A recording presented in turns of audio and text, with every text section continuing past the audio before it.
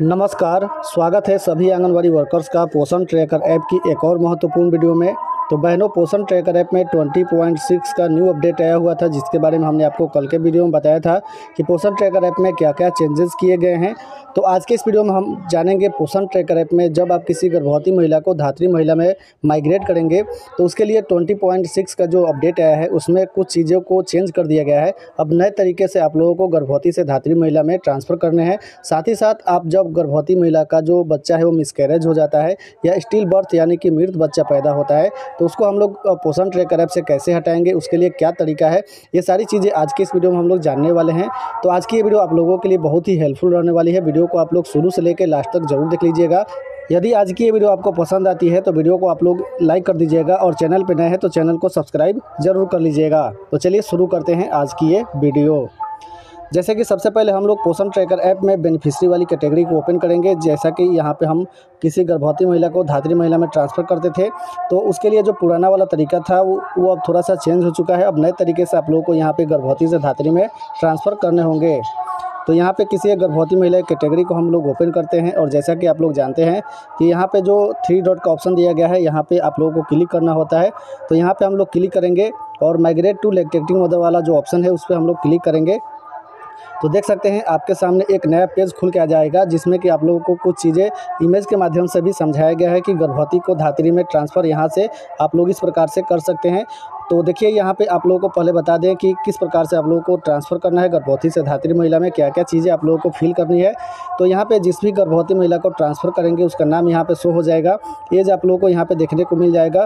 Pregnancy month कितने month की वो प्रेगनेंट है, वो आप लोगों को यहाँ पर देखने को मिल जाएगा। और यहाँ पे ई डी डी यानी कि बच्चा कब तक जन्म लेगा, उसका यहाँ पे डेट आप लोगों को देखने को मिल जाएगा। तो आपको करना क्या है कि अगर किसी गर्भवती महिला का डिलीवरी हो चुका है तो उसको माइग्रेट करना है तो उसके लिए आपको यहाँ पे डेट ऑफ़ डिलीवरी यानी कि जिस दिन डिलीवरी हुआ है, उसका डेट आप लोगों को यहाँ पे फिल करना है। उसके लिए यहाँ पे आप लोगों को कैलेंडर का ऑप्शन देखने को मिल जाएगा। यहाँ पे कैलेंडर पर क्लिक करेंगे और जिस दिन बच्चे का जन्म हुआ है, उस तारीख को यहाँ से सिलेक्ट करेंगे और ओके पे क्लिक कर देंगे। उसके बाद आपसे यहाँ पे पूछ रहा है प्लेस ऑफ़ डिलीवरी मतलब कि कहाँ पे बच्चे का जन्म हुआ है, घर पे हुआ है या अदर हुआ है तो जो भी है आप लोग यहाँ पे सिलेक्ट कर लेंगे, ठीक है? तो यहाँ पे सेलेक्ट करने के बाद आपसे पूछेगा कि बच्चे का जेंडर क्या है, वो लड़का है या लड़की है, वो आपको यहाँ पे सिलेक्ट करना होगा। तो यहाँ पे जो भी हो आप लोग यहाँ पे सिलेक्ट कर लीजिएगा। उसके बाद यहाँ पे बच्चे का जन्म के समय वज़न कितना था, उसको यहाँ पे फिल करना है। उसके बाद यहाँ पे बच्चे का जन्म के समय हाइट कितना है, वो यहाँ पे फिल करना है। और ये सारी चीज़ें डालने के बाद आपको यहाँ पे प्रोसीड वाला जो ऑप्शन है, इस पर क्लिक कर देना है। तो ये जो लाभार्थी है, वो प्रेगनेंट वुमेन से लेक्टेक्टिव मदर में ट्रांसफ़र हो जाएगी। उसके बाद बच्चे की कैटेगरी खुल के आ जाएगी, ठीक है? बच्चे की कैटेगरी यहाँ पे आप लोग देख पाएँगे कि जैसे ही यहाँ से यहाँ पर आप लोग प्रोसीड करेंगे तो बच्चे की कैटेगरी खुल के आ जाएगी। यहाँ पे आपको बच्चे का डिटेल्स भरना होगा। तो जैसे कि यहाँ पे हम आपको एग्जांपल के तौर पे समझाते हैं किस प्रकार से आप लोगों को भरना है।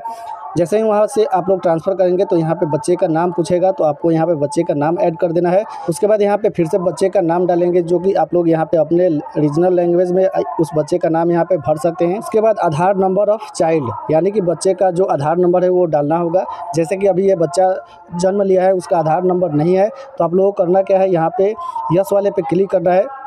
जैसे ही यस वाले पे क्लिक करेंगे तो यहाँ पे बच्चे का आधार हाइड हो जाएगा। नंबर ऑफ़ मदर यानी कि माता का आधार नंबर देखने को मिल जाएगा। ऑलरेडी वहाँ पे फिल हुआ रहेगा आधार नंबर और मदर का जो डेट ऑफ़ बर्थ है, वहाँ पे ऑलरेडी फिल रहेगा।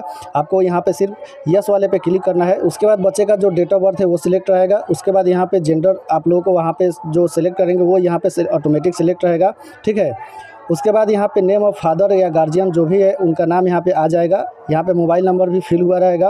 आपको करना क्या है कि यहाँ पे सिलेक्ट कैटेगरी यानी कि वो बच्चा किस कैटेगरी का है, वो सिलेक्ट करना है, ठीक है? उसके बाद रिलीजियस माइनॉरिटी है तो आप लोग यस करेंगे, वरना इसको नहीं रहने देंगे। फिर जो बच्चे का हाइट और वेट है, वो आप लोग वहाँ पर भरेंगे तो वो यहाँ पर आप लोगों का ऑटोमेटिक भरा हुआ मिलेगा, ठीक है?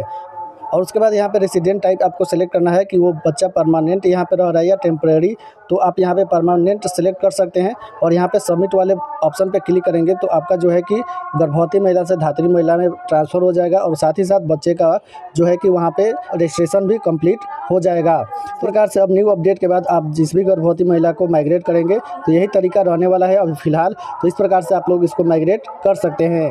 ठीक है? अब हम बताते हैं आपको कि अगर किसी गर्भवती महिला का मिसकैरेज हो जाता है या स्टिल बर्थ बच्चा पैदा होता है तो उसके लिए आपको करना क्या है? तो जैसे कि यहाँ पे प्रेग्नेंट वुमेन पे क्लिक करेंगे और यहाँ पे किसी एक गर्भवती महिला कैटेगरी पे क्लिक करेंगे और यहाँ पे माइग्रेट टू लेटेटिंग मदर वाले ऑप्शन पे क्लिक करेंगे, ठीक है? जैसे कि आप लोगों को पुराने वाले वर्जन में यहाँ पे जो स्टील बर्थ मिसकैरेज या वर्सन का जो ऑप्शन देखने को मिल रहा था, वो ऑप्शन आप लोगों को अब यहाँ पर देखने को मिलेगा। To inter miscarriage abortion और स्टील बर्थ डिटेल्स तो यहाँ पे आप लोगों को क्लिक करना है, अगर किसी कारणवश किसी गर्भवती महिला का जो है कि मिस कैरेज हो जाता है, ठीक है?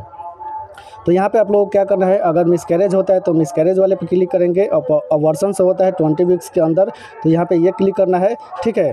उसके बाद यहाँ पे बच्चा अगर मृत पैदा होता है तो ये वाला ऑप्शन सिलेक्ट करेंगे और सबमिट कर देंगे तो वो लाभार्थी यहाँ से आपका पोषण ट्रैकर ऐप से हट जाएगा, ठीक है?